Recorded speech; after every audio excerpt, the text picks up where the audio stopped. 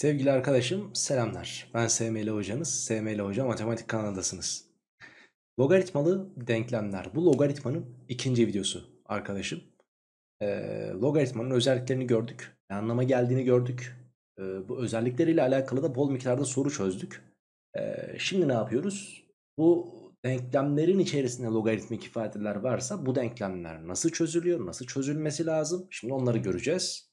Hazırsanız ve videoyu beğendiyseniz kanala da abone olduysanız videomuza başlayalım, dersimize başlayalım.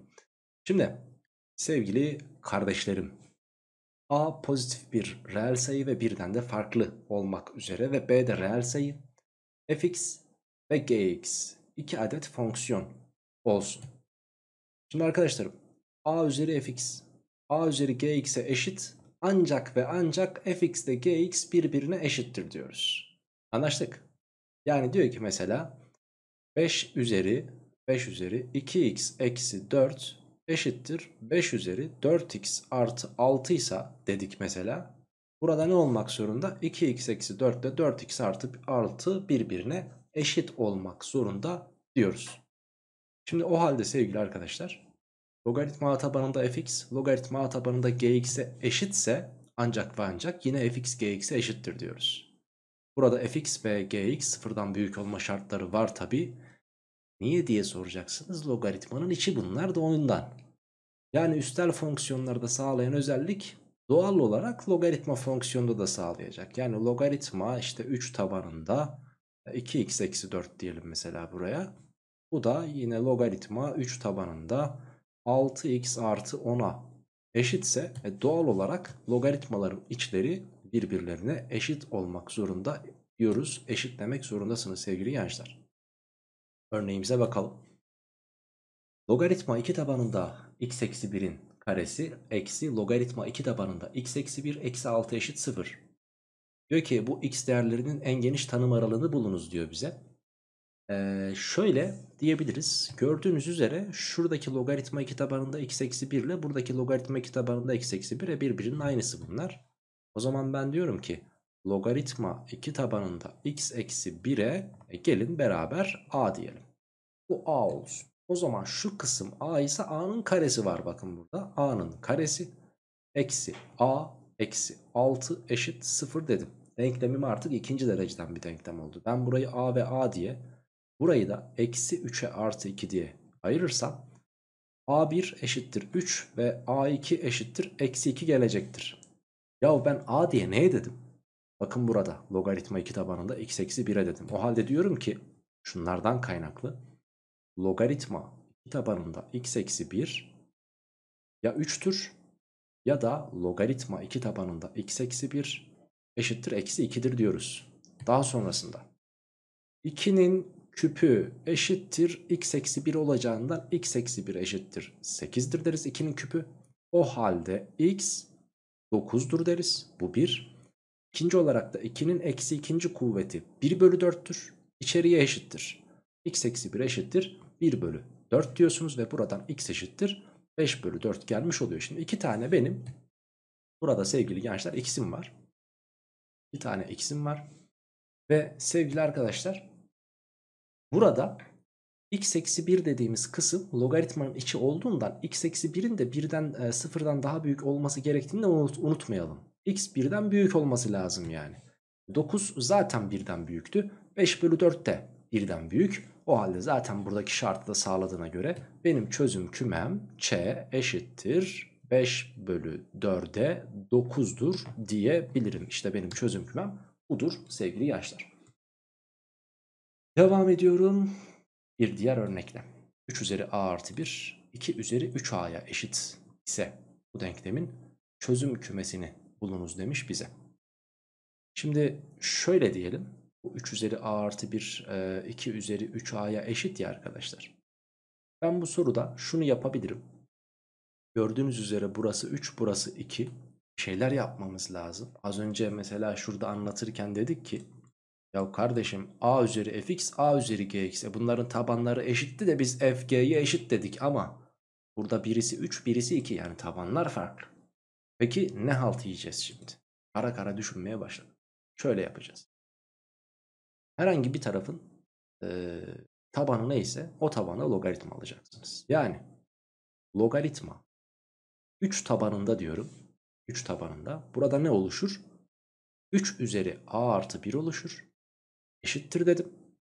Logaritma 3 tabanında 2 üzeri 3a dedim. Güzel. Şimdi burada gördüğünüz üzere 3'ün kuvveti a artı 1. Ben bu a artı 1'i başa sallayabilirim. a artı 1 çarpı logaritma 3 tabanında 3 kaldı. Eşittir. 3a'yı da başa sallayayım. 3a çarpı logaritma 3 tabanında 2 dedim. Ve böylelikle artık şunu da fark ediyoruz. 3 tabanında 3 1'di. Demek ki burada a artı 1 eşittir 3a çarpı logaritma 3 tabanında 2'nin ta kendisiymiş. Şimdi bize a lazım. Çözüm kümesini bulunuz demiş ya bize a lazım. a'yı nasıl bulurum? Şöyle yapabilirim. a'yı bu tarafa gönderdim. Tamam mı? 1 eşittir. 3a çarpı logaritma 3 tabanında 2 eksi a dedim. Daha sonrasında a'ların ortak olduğunu fark ettik. Ve a parantezine alasımız geldi.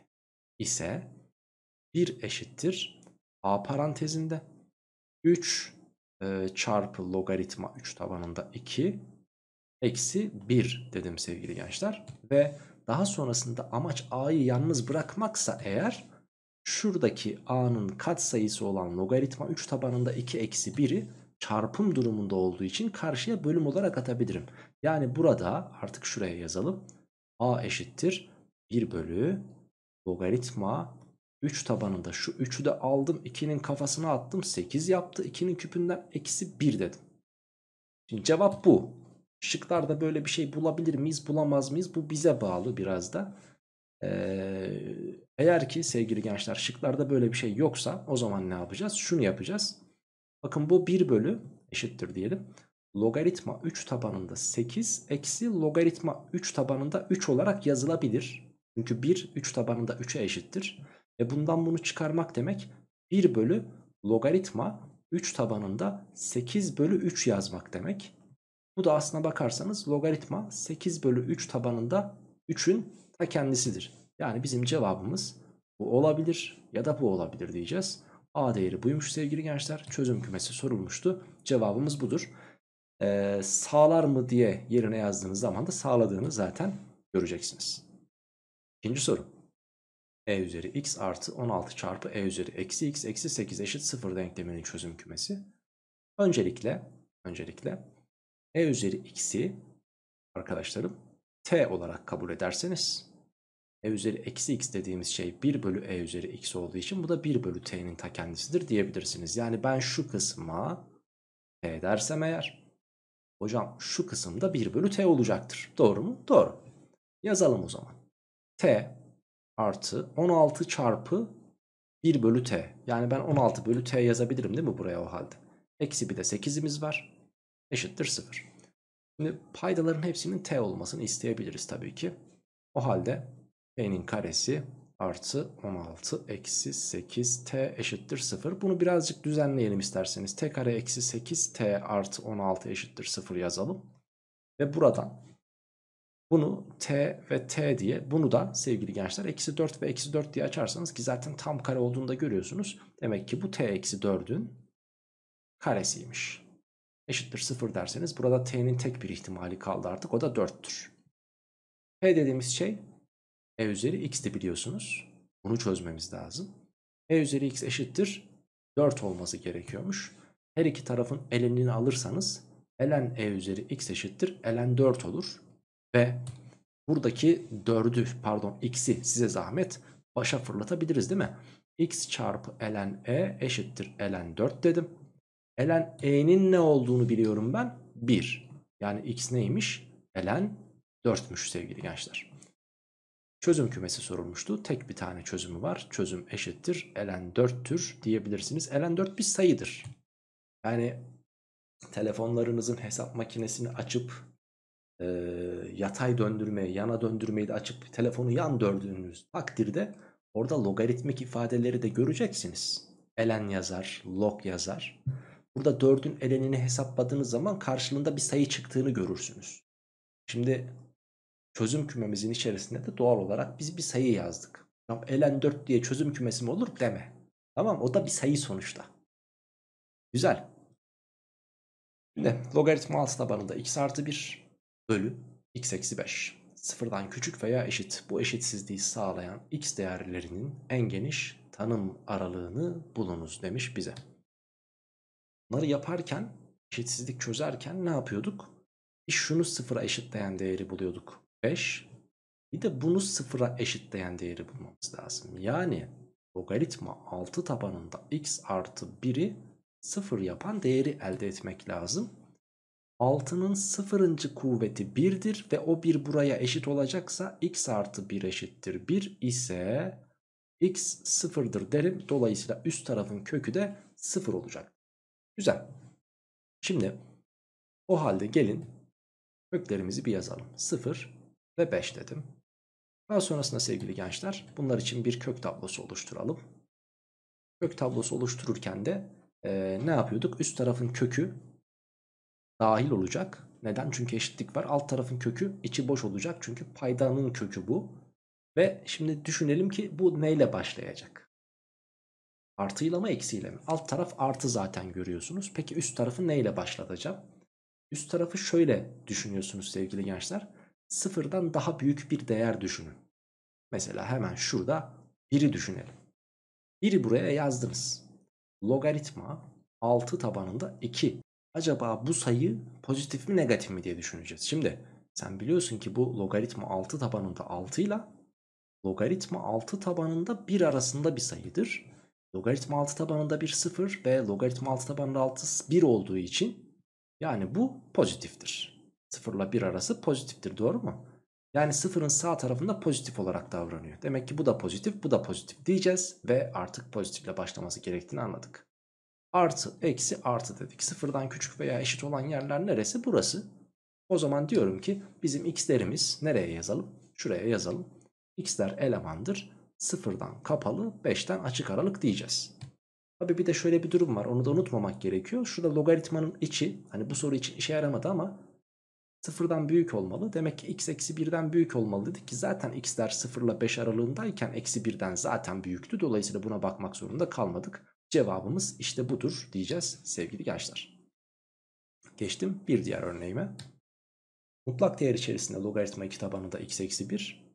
Yalnız logaritma 2 tabanında x eksi 1'den bahsediyorum. Yani x eksi 1 logaritmanın içi değil. Logaritmanın içi sadece x. Eksi bir de birimiz var. 4'ten küçük. Bu eşitsizliğin en geniş çözüm aralığı soruluyor. Diyorum ki logaritma 2 tabanında x'ten 1 çıkardığım takdirde bu 4 ile eksi 4 aralığında olmak zorundadır. Basit eşitsizliklerden hatırlayın. Peki buradaki eksi 1'i yok etmek için ne yapmamız lazım? 1 ekleyeceğim. Yani eksi 3 küçüktür. Logaritma 2 tabanında x. Ya hocam bu da küçüktür. Ne olacak? 4 logaritma pardon özür diliyorum. 1 eklersem burası da 5 olacaktır. Şimdi biraz daha düşünelim. Ben diyorum ki bu eksi 3'ü şöyle yazabilirim. Logaritma 2 tabanında 1 bölü 8. Niye? Çünkü 2'nin eksi 3. kuvveti 1 bölü 8. O zaman bu yazdığım şey de eksi 3'ün ta kendisi. Küçüktür. Logaritma 2 tabanında x. Bu da küçüktür. Logaritma 2 tabanında 32. Neden? Çünkü 2'nin 5. kuvveti 32. O halde ben şu cümleyi kurabilir miyim? x, x sevgili gençler 1 bölü 8 ile 32 aralığında olmalıymış. 1 bölü 8 küçüktür x o da küçüktür 32 diyebiliriz. Doğru mu? Doğru. Peki tabi bir de şuraya bakmak lazım. Burada logaritmanın içi x ya. x'in sıfırdan büyük olması gerekiyordu. Peki sıfırdan büyük olan e, x'leri kabul ederken zaten 1 bölü 8 ile 32'nin arası sıfırdan büyük değil midir? Büyüktür. Bana da demiş ki zaten en geniş çözüm aralığı işte en geniş çözüm aralığımız burasıdır. Şöyle istiyorsa öyle yazarsın. Hop 1 bölü 8'den 32'ye kadar olan açık aralıkta bizim x'lerimiz mevcuttur diyebilirsin tabii ki. Devam ediyorum 33. sayfamla. Değişik bir soru. Logaritma 5. Yaklaşık olarak şu işaretin anlamını biliyorsun değil mi? Yaklaşık olarak demek. Şu işaretten bahsediyorum. Yaklaşık olarak demek. Ee, 0.69897'ymiş hesap makinesine girdiğin zaman bu şekilde çıkıyor. Olmak üzere 5 üzeri 50 üzeri 100 sayısı acaba kaç basamaklı diye soruluyor. Şimdi ee, şöyle diyelim. Şöyle diyelim 50 üzeri 100'den bahsediyoruz ya. Acaba onun onun 6. kuvveti kaç basamaklı bir sayı? Onun 6. kuvveti sevgili gençler birin sağında 6 tane 0 olması demek.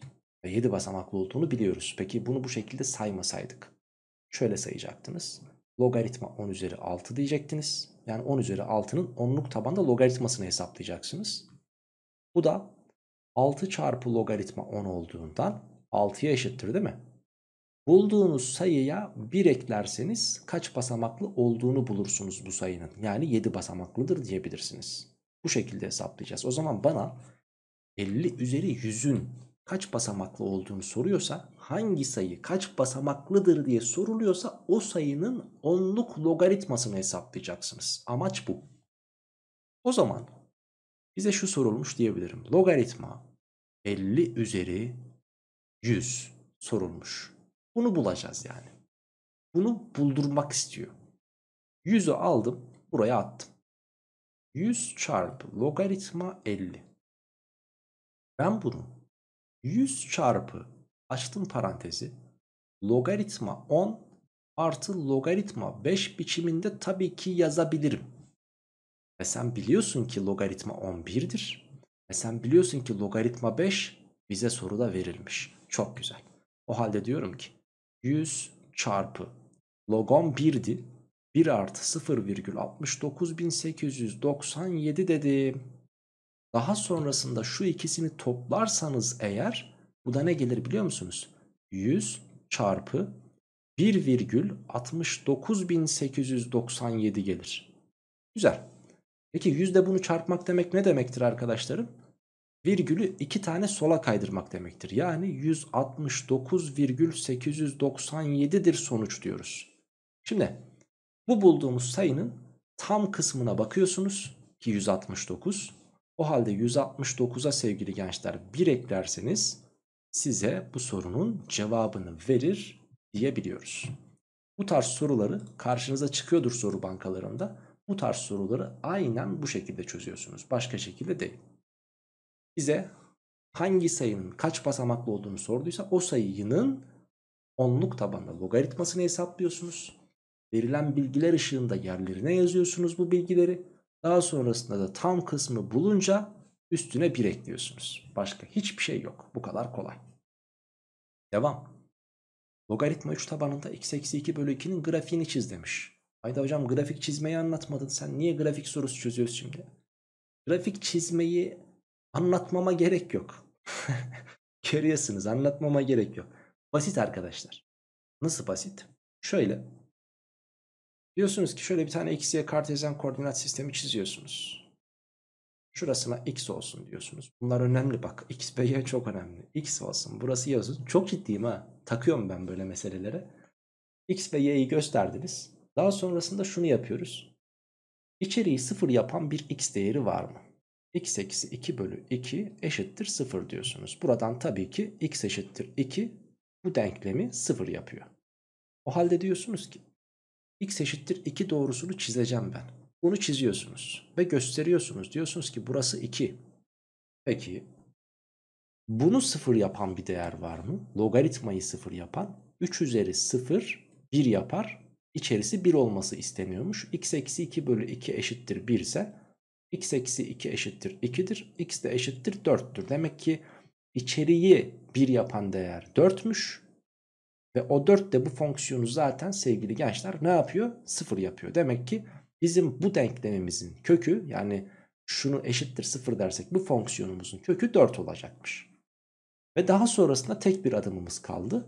Şuradaki tabana bakıyorsunuz. Taban kaç? 3.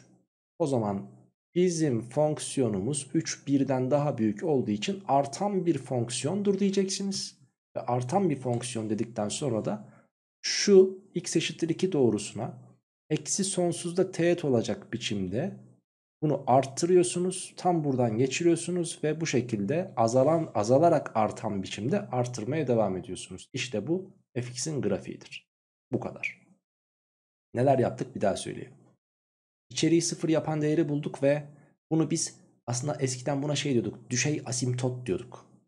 Yani asla ama asla grafiğin değmemesi gereken doğru. Sonsuzda teğet olunan doğru diyebiliriz biz buna. Eksi sonsuz veya artı sonsuzda. Buna değmeyecek. Daha sonrasında bunu sıfır yapan noktayı bulduk. O da 4'müş. Dolayısıyla bizim e, fonksiyonumuzun köküdür bu dedik. Daha sonrasında şurada 3'e baktık. 3 birden büyük olduğu için grafik artandır dedik ve artan bir grafik çizdik 4'ten geçecek biçimde. Hocam nasıl azalan olur? Şöyle de azalan olurdu. Ya zaten e, logaritma fonksiyonunun grafiği ya bu şekilde ya da bu şekilde çıkacaktır. İkisinden birisi. Peki azalan nasıl olur? Eğer şuradaki taban taban 0 ile 1 arasındaysa o grafik azalan olacaktır. Grafik azalan olacaktır. Onun da notunu bu sorunun başına al. Şimdilik şu soruya bakalım. Yukarıda grafiği verilen f fonksiyonu 2'ye 4 ve 1 bölü 4'e m noktalarından geçmekte. Buna göre f m artı 10 ifadesinin eşiti nedir diye soruluyor. Şimdi 2 için 4'ten geçiyorsa logaritma a tabanında x gördüğüm yere demek ki 2 yazıyormuşum.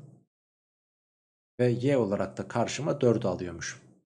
Yani a'nın karesi 2'ymiş. a'nın dördüncü kuvveti 2'ymiş. a üzeri 4 eşittir 2 ise sevgili arkadaşım. a tabii ki kaçtır?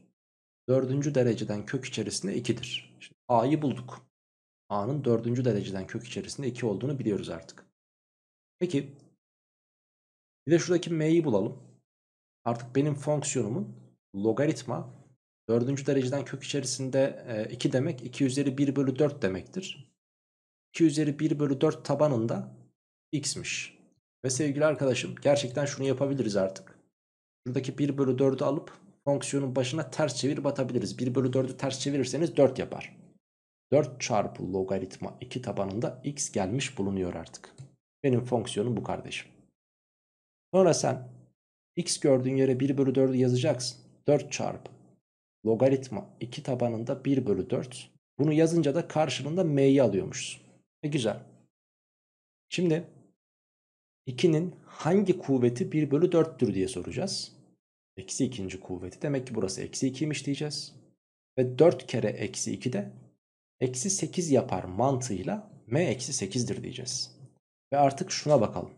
f eksi 8 artı 10 soruluyor bize. Yani f 2 soruluyor ki sorunun içerisinde cevabın verildiğini de fark etmiş olduk. Çünkü bizim fonksiyonumuza 2'yi yazınca 4'ten geçtiğini zaten biliyorduk. O halde bizim cevabımız da 4'tür diyeceğiz sevgili gençler. Grafik çizimini sana sormayacak ÖSYM. Grafiği nasıl okuduğunu ölçecek. Grafiği bu çocuk okuyabiliyor mu diyecek. Grafikten anladığını kağıda dökebiliyor mu diyecek. İşlem yapabiliyor mu diyecek. İşlemler de zaten bu şekilde basit. Bildiğiniz fonksiyon işlemi yapıyoruz. Fonksiyon yapıyoruz yani fonksiyon çözüyoruz. O yüzden basit sevgili gençler. Merak etmeyin, korkmayın. Evet demiş ki bu ifadenin değerini bulunuz. F içerisinde F1 bölü 7 yani F bileşki F1 bölü 7 sorulmuş. Şimdi ben fonksiyonumun A tabanında x olduğunu biliyorum. 3'ü yerine yazdığım zaman eksi 1'den geçtiğini görmüşüz. Dolayısıyla logaritma a tabanında 3 eşittir eksi 1 diyebiliriz. Bakın 3 yerine yazınca eksi 1'den geçiyor. O halde a'nın eksi birinci kuvveti de 3'tür. a'nın eksi birinci kuvveti 3 ise yani 1 bölü a 3 ise demek ki a 1 bölü 3'müş. Artık benim fonksiyonum belli. 1 bölü 3 tabanında x olacak. a'yı buldum çünkü. Şimdi artık gerekeni yapabiliriz. Önce f'in içerisine f 1 bölü 27'yi yazmamız gerekiyor. Hangisini hesaplayacağız önce? Tabii ki f 1 bölü 27'yi. Hesaplayalım sıkıntı yok. Logaritma 1 bölü 3 tabanında 1 bölü 27'dir. Değil mi? f 1 bölü 27. x gördüğüm yere 1 bölü 27 yazdım. Peki 1 bölü 27 1 bölü 3'ün kaçıncı kuvvetidir? Tabii ki 3. kuvveti. Demek ki içerisi şöylece 3'müş. Şimdi neyi bulmamız gerekiyor? F3'ü. Yani x gördüğünüz yere bu sefer 3 yazacaksınız. Logaritma 1 bölü 3 tabanında 3 kaçtır? Yani şunu diyoruz. 3 1 bölü 3'ün kaçıncı kuvvetidir? Tabii ki eksi birinci kuvvetidir 1 bölü 3'ün değil mi? O halde cevabımız ne olacak? 3 olacak diyebiliriz. Evet sevgili gençler artık son sayfamızdayız. Logaritmanın uygulamaları diyoruz. Şimdi logaritmanın uygulamaları 2011'li 2012'li yıllarda logaritma anlatmaya başlamıştım. O zamandan beri anlatıyoruz. Anlatıyoruz ama sınavlarımızda e, bu tarz sorular sorulmuyor. Ama ÖSYM yani ne yapacağı belli olmuyor. Geçen sene mesela düşünün. Herkes e, daha kolay bir sınav beklerken ÖSYM şaşırttı herkesi. ÖSYM daha böyle e, nasıl diyeyim mantığımızı ölçecek bir sınav yapması beklenirken biraz bilgimizi ölçtü. Dolayısıyla e, arkadaşlar beklentimizin dışına çıkmayı biraz e, huy edindi diyebiliriz. O halde biz bunları anlatıyoruz ama çıkmaz diye de belirtiyoruz. Ama yine de olsun biz hem acil matematik AYT soru bankamızda e, hem logaritma ve diziler fasikülümüzde hem de işte ben hazırladığım dokümanlarda derslerimi anlatırken, özel derslerimi verirken, e, online derslerimi verirken bu konuyu da yani logaritmanın uygulamaları konusunda anlatıyorum. Aklınızda bulunsun. Bence siz de dinlemelisiniz. Ee, zaten basit. Mutlaka ama mutlaka sorun içerisinde formülü veriyor ve formülde yerine yazmanı istiyor. Geri kalan zaten 4 işlem. Gerçekten başka bir şey yok. O yüzden dinlemenizi ve anlamanızı tavsiye ediyorum. Haberiniz olsun. Bakalım. Bir plajın eğimi ile kum tanecikleri arasındaki ilişki M eşittir 0.159 artı 0.118 çarpı logaritma k ile modellenmiş. Buradaki m, şu m arkadaşlar, plajın eğimi, k kum taneciklerinin ortalama çapı milimetre cinsinden. Kum taneciklerinin ortalama çapı 0.2 mm olan plajın eğimini bulunuz demiş ve ekstradan şöyle de bir bilgi vermiş bize. Logaritma 2'nin 0.3 olduğunu kullanacaksın demiş. Pekala. Şimdi ben eğim dedim eşittir 0.159 artı 0.118 çarpı logaritma k dediğimiz şey kum taneciklerin ortalama çapıydı ve bana çapı 0.2 vermiş. Dolayısıyla sevgili gençler ben buraya 0.2'yi yazacağım. Şöyle yazdık. Pekala. Ben buranın 0.2 olduğunu biliyorum ya. Bunu da şöyle yazalım mı? M eşittir 0. 159 artı 0.118 yani 118 bölü 100 yazabiliriz artık oraya. Şu şekilde çarpı logaritma 0.2'yi de logaritma 2 eksi logaritma 10 biçiminde yazabilirim. Neden? Çünkü ben 0.2'nin 2 bölü 10 olduğunu biliyorum. 2 bölü 10 da logaritmanın 2 bölünmüşse dışarıda bunlar çıkarılmıştır diyebiliriz. Böylelikle hem logaritma 2'yi elde etmeye gayret gösterdim hem de zaten logaritma onun 1 olduğunu biliyorum. Ve şurası da neydi? 0.3'tü. 0.3'ten 1'i çıkarırsanız arkadaşlar eksi 0.7 kalacaktır. Ve artık burası da 159 bölü şurası 100 değil 1000 arkadaşlarım kusura bakmayın. 159 bölü 1000 artı 118 bölü 1000 çarpı e, eksi 0.7 yani 7 bölü 10 dedim. Sonrasında bir de gittim eksi 7 bölü 10 diye şurayı sildim eksi yazdım. Bakın burası da eksi olmuş oldu böylelikle. Güzel. Güzel ama kusursuz değil.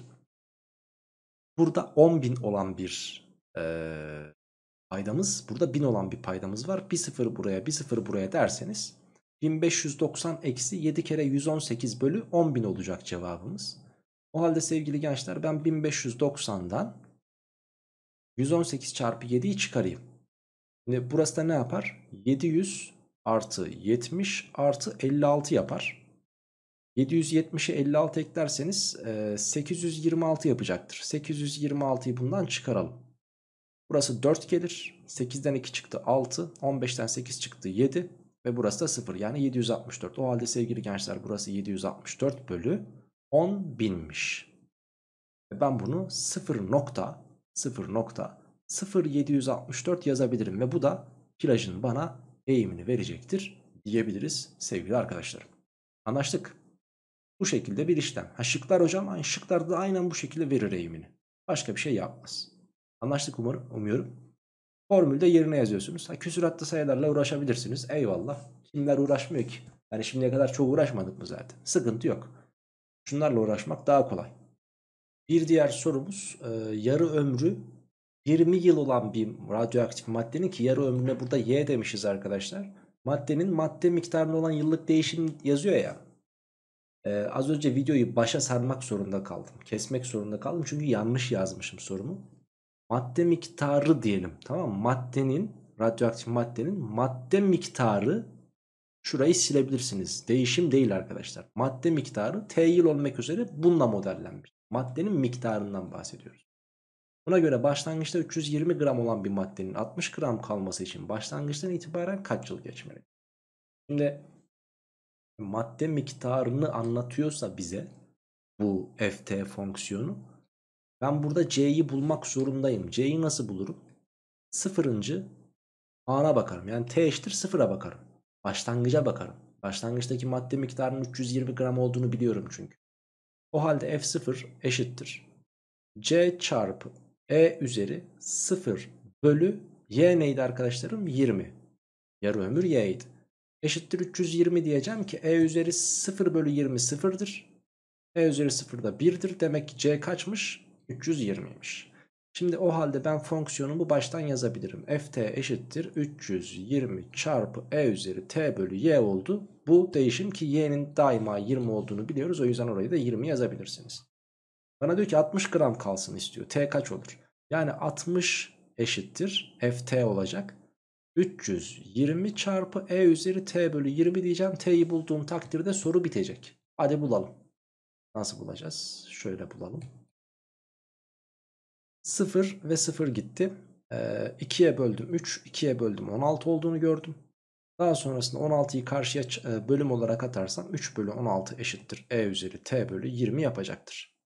Daha sonrasında her iki tarafın elenini alırsanız elen 3 bölü 16 eşittir. elen e üzeri t bölü 20 olacaktır. E'nin kafasındaki t üzeri 20'yi onu bir başa gönderelim olmaz mı? Şöyle yapalım yani. Şuraya aldım sorumu. Elen 3 bölü 16 dedim. Eşittir. P bölü 20 çarpı elen E. Elen de zaten 1 olduğunu biliyoruz. Burada bölüm durumunda olan 20'yi de karşıya postalarsanız 20 çarpı elen 3 bölü 16 eşittir T olur. Ve sevgili gençler demek ki işte bu kadar yıl geçmesi gerekiyormuş diyebiliriz. 20 çarpı elen 3 bölü 16 yıl. Tabii ki elen 3 bölü 16 bir değeri var. Sayısal bir değeri. Bunu da 20 ile çarptığınız zaman süratli bir yıl geçmesi gerekiyormuş 60 gram kalabilmesi için. Devam ediyorum bir diğer sorumla. Bir diğer örneğimizde K'ya yıllık faiz oranı dedik. Bunu şöyle düşünelim arkadaşlar. Yüzde K diyelim. Yani yıllık faiz oranı eğer mesela sorumuzda 25 olarak verilmiş ya yüzde 25. Bu yıllık e, faiz oranı yani K dediğimiz şey burada 25 olarak kabul edilecek. Aklınızda bulunsun. P süre yani yıl A0'da ana para olmak üzere bankaya yatırılan paranın bileşik faiz formülü budur denilmiş. Formülü vermiş bize. 24.000 TL yıllık %25 faiz oranıyla kaç yılına bankaya yatırılırsa bu sürenin sonunda faiziyle birlikte 46.875 lira olarak çekilir diye soruluyor. Şu kısmı sildim. Sorumuzu çözmeye başlayalım. Ne kadar olmasını istiyor paramızın? 46.875 yazdım. 46.875 eşittir dedim. Ana paramızın burada 24.000 TL olduğunu görüyoruz. Çarpı 1 artı K 25'ti. %25. E burası da 100. 25 bölü 100'den 1 bölü 4 yapar zaten. Üzeri T. T'yi sormuş zaten bize. Şimdi bunları sadeleştirelim arkadaşlar. İkisi de 5'e bölünüyor. Bismillah deyip hatta ikisi de 25'e bölünüyor. 25'e bölmeye başlayalım. Son iki basamağından 25'e bölündüğünü anlıyoruz bu arada. Bunu 25'e bölersem 46'nın içerisinde 25 bir defa. Bir defa. Kalan 21. 218'in içerisinde 25 8 defa. Aynen. Ee, daha sonrasında kalan 18. 187'nin içerisinde 7 defa. Ee, kalan 12 ve 125'in içerisinde 25 5 defa. 1875 eşittir. 24.000 bölü 25 diyeceğiz. 240'ın içerisinde 24'ün içinde yok. 240'ın içerisinde 25 9 defa. Kalan 15. 150'nin içerisinde 25 6 defa. Tam bölündü. Bir de sonunda 0 var 960. Ben kafamdan bölebiliyorum ama e, siz yan yana yazıp bölebilirsiniz. Veya önce 5'e daha sonrasında 5'e bölüp devam edebilirsiniz. Bakın yine 5'e bölecekmişiz hatta. 5'e bölelim. 18'in içerisinde 5 3 defa. Kalan 3. 37'nin içerisinde 5 7 defa. 25'in içerisinde 5 defa. 9'un içerisinde 5 1 defa. Kalan 4. 46'nın içerisinde 9 defa. Ee, kalan 1. Onun içerisinde 5 2 defa. 192 geldi. Ortak bir bölüm var mı? Bu 3'e bölünüyor. Soldaki de 3'e bölünüyor. 3'e bölelim. 125. 3'e bölelim. 64. Oo çok güzel şeyler geldi. Devamını yazalım. 64 çarpı 1 artı 1 bölü 4 5 bölü 4 değil mi? 5 bölü 4'ün t'ninci kuvveti. Şu 64'ü karşıya bir fırlatalım. 125 bölü 64 5 bölü 4'ün küpüdür. E, karşı tarafta 5 bölü 4'ün t'ninci kuvveti t direkt ortaya çıkmış oldu. T kaçmış arkadaşlar? 3'müş diyebiliriz. Bu kadar sadeleştirmeden sonra böyle doğru bir cevap gelmesi beni şaşırttı açıkçası. Devam. Bir başka örnek ve son sorumuz aynı zamanda. Bir deney tüpümüz var. Başlangıçta bu tüpte 10 tane bakteri var. Ve bakteriler her bir saatin sonunda sayıları 4 katına çıkarak çoğalıyor.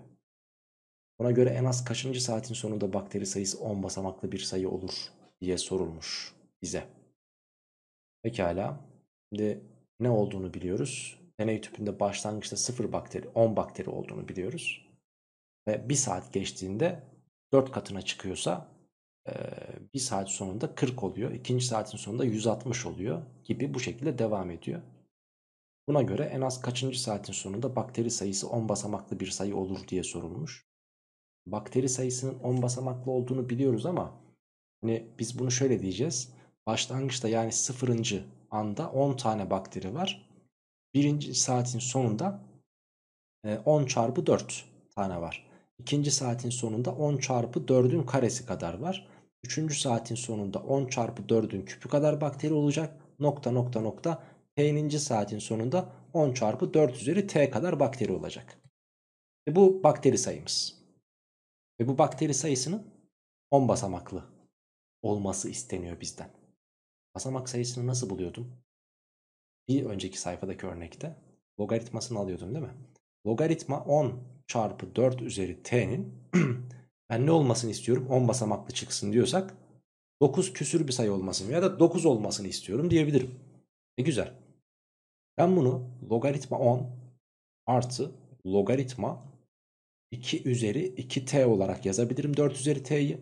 Neden topladım? Çünkü 10 ile 4 üzeri d çarpılmış. Demek ki dışarıda bunlar toplanıyor. Eşittir 9 diyelim. Şuranın 1 olduğunu biliyoruz. 1'i karşıya atarsanız logaritma 2 yazdım. Şu 2t'yi de başa fırlattım. Eşittir 9 diyeceğim. Logaritma 2'nin yaklaşık olarak bu olduğu verilmiş bize. O halde 2 ile çarparsam ya pardon logaritma 2 şurası 0.30103 dedim. Çarpı 2t var eşittir 9 dedik pekala. Şimdi t'yi yalnız bırakmak istiyoruz burada. t eşittir 9 bölü 2 çarpı 0.30103 diyebiliriz. Bu da 9 bölü 0,6206 olduğunu söyleyebiliriz. Artık devamını şöyle yapmak istiyorum. Hani tam net bir cevap çıksın diye bunu yapacağım sevgili gençler. Böyle hesap makinemizi alalım. Artık buraya 9 bölü 0.60206 eşittir diyelim. Cevabımız 14 nokta 94 9 4 8 6 7 6 2 1 1 diye devam eden sayıdır diyebiliriz cevabımızı. Yani eşittir 14.9'lu bir sayıymış dedik ya sevgili gençler. Şimdi ne demişti bana? En az kaçıncı saatin sonunda? Şimdi bu 14.9 14. saat bitmiş 14. saatin sonunda 10 basamaklı bir sayıya erişememişiz. 14.9'da ilk defa ee, nereye erişmişiz arkadaşlar? 10 basamaklı bir sayıya erişmişiz. Demek ki 14. saatin sonunda artık kesinlikle 10 basamaklı bir sayıdayız. Yani cevabımız ne olacak? 15 olacak diyebiliriz. Şimdi burada şurayı neden 9 yaptım onu size söyleyeyim. Ee, hatırlarsanız şu soruda Böyle geriye doğru gidelim. Hangi soru? Şu soru. Ne demiştik? Bulduğumuz cevaba 1 ekliyorduk ki basamak sayısını bulalım. Burada bize basamak sayısını vermiş 10. Ben bunu 1 çıkaracağım ki 10'a eşit olsun. Dolayısıyla ben burada eşittir 9 dedim. Haberiniz olsun. Geri kalanı bildiğimiz hikayeler. Logaritma 11'di. Logaritma 2'nin 2t'nin kuvveti. 2t'yi başa attık. 2t çarpı logaritma 2 geldi. 2 ile bunu çarparsam 0.602.06 gelir. 602.06 gelir. Onu buraya yazdım. 9'u 0.602.06'ya hesap makinesiyle böldüm. 14.9 geldi. 14.9'da ilk defa 10 basamaklı bir sayı oluyor. Hangi en az kaçıncı saatin sonunda demişti. 14. 15. saatin sonunda ilk defa 10 basamaklı bir sayı olacaktır dedik biz de bu sorumuz için. Evet. Videomuzun sonuna geldik.